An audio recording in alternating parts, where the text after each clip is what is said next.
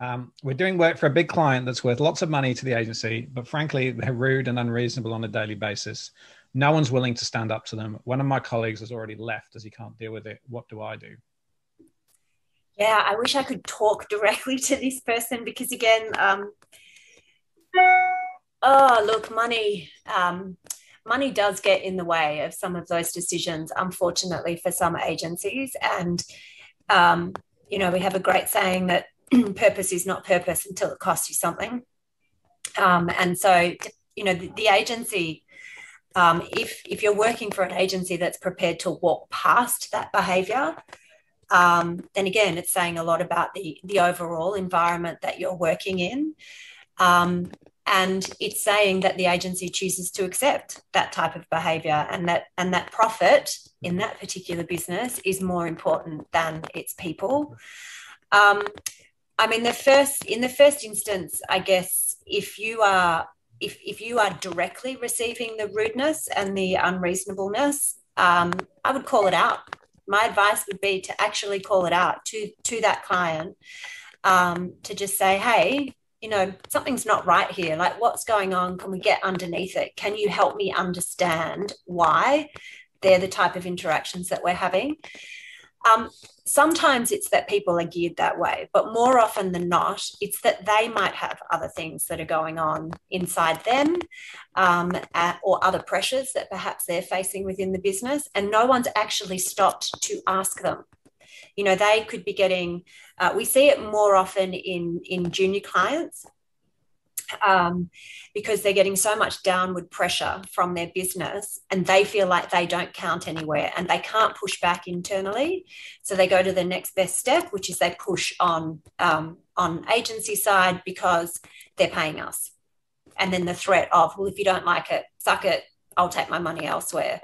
So that um, I just, I fundamentally believe that almost everything can be solved through having a heart to heart, a proper human conversation.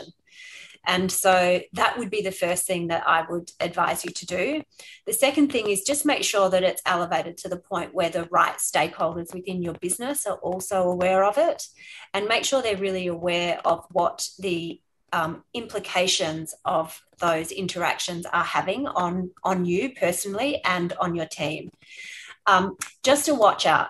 When we do hear of this, sometimes um, it might be that the person who's actually receiving that type of confrontation doesn't want to step forward, so then others step forward on their behalf. That makes it really difficult from a leadership perspective to get in under the skin. So if it is something that you are facing, you know, put your bravery on and um, get out there and confront it head on with the client and with um, and with your management team. Because if you've confronted it with the client first again you can go to management to say these are all the solutions that i've tried. Do you have any other suggestions on what we might be able to do here?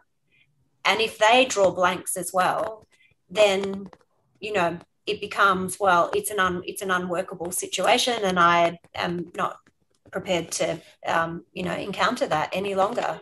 And you have to be prepared to walk away if that's where it gets to.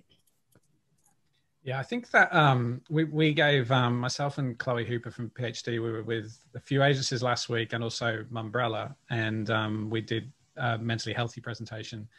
And and one of the things we talked about was you know we all talk about being able to support each other and have a discussion to like check we're all in we're all okay. And that actually you know someone might be behaving erratically or rudely but you just don't know what's going on with them.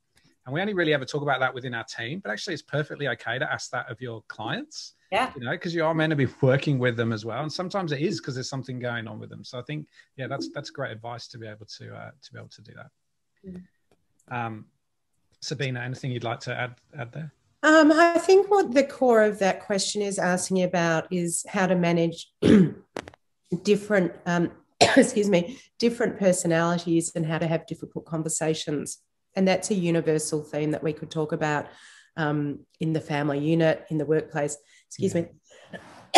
me, with clients, um, you know, across the board.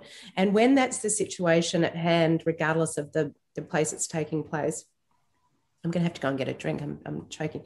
Um, I like to focus on the commonality, and it sounds um, I know it's not easy. Whoever's asking this question is mm. probably feeling really, um, excuse me, like they're they're struggling or they're being personally attacked. When we look for something that we have in common with a person that we're having difficulty with, it does help to soften and shift the dynamic, both at an interpersonal level and also at a task level, so that we're not thinking like we're against each other, both in the way we're approaching the issue and what the issue is we're trying to, you know, work on, the task at hand. So just, that's just um, it's a, a softening technique, I think. I, yeah.